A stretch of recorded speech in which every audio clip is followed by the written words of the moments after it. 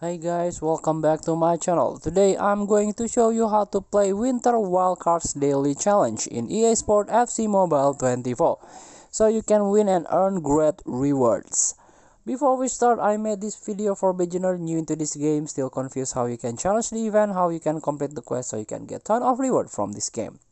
Let's get started. Currently Winter Wildcards event is on you can get involved in the event and win exclusive rewards. So you can collect this a winter wildcards token from daily adventures. You can spend the token in the master road and claim the rewards. And also there is weekly training. There are total five courses.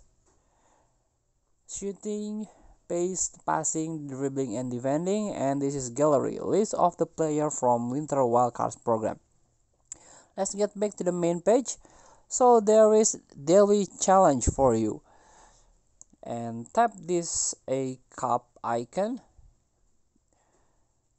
And this is challenge mode winter wildcards daily challenge. So there are two here.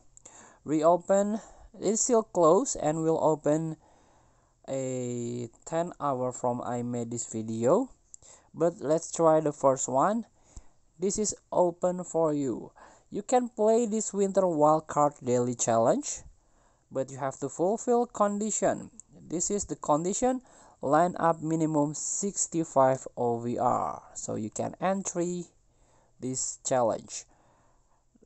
Guarantee reward for you is 10,000 coin, 100 gem, and also mixed fashion player 80 until 95. Type this entry if you fulfill the condition. And this is daily challenge for you winter wildcards daily challenge. Total there are three stage. Quarter final is skill game. Semi semifinals is skill game and the final is a match. So thank you for watching. Please challenge this. Don't forget to comment like and subscribe. So click text button below. Enjoy the game